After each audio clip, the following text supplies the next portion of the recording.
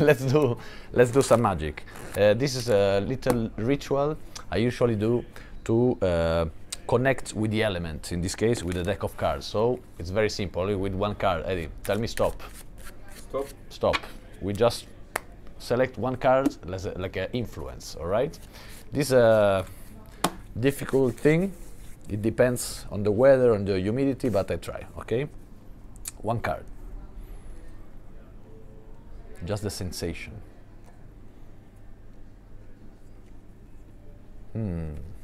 Let me let me see.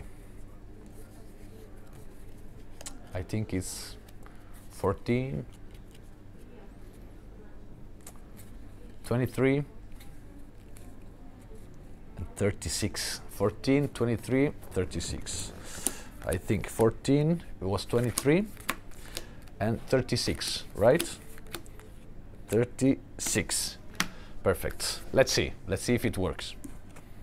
Ah, yes, Ace of Spades. I was sure. This is, you cannot miss, miss it. But, of course, this is the Ace of Spades.